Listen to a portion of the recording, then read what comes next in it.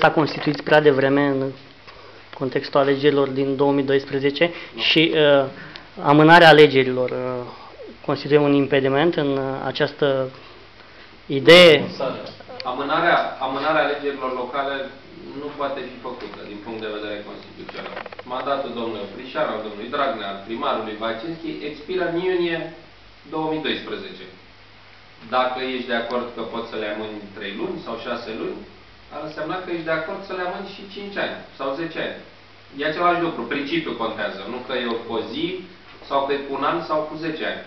Și atunci, probabil, nu știu, când o să fie USL-ul la putere, o să dăm o lege că să nu se mai facă alegeri niciodată. Deci nu se pot amâna.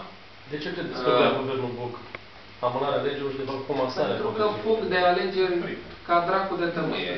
Deci știți, am avut ocazia, am spus la această unică întâlnire cu domnul Băsescu, să-i spunem amândoi prin Antonescu și eu, domnul Băsescu, nu vreți să facem un referendum?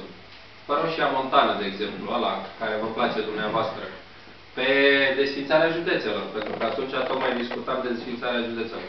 Nu, nu e bine. Păi de ce nu e bine, domnule? Nu erați dumneavoastră cel cu referendumurile, cu să întrebăm pe oameni ce vor? Nu, acum ne-a zis că oamenii nu știu, nu e bine ce, ce spun oamenii. E, atunci, dacă domnul Băsescu e mai deștept decât 20 de milioane de români, e clar că nu ne mai aflăm într-o democrație. În rest, o să le facă în iunie, o să le facă în octombrie, în noiembrie. O să le facă dintr-un tur, din două, din cinci tururi, compensate, unii nominale, cum ar fi. Să le facă odată ca să-i schimbăm. Eu sunt convins că le vom câștiga.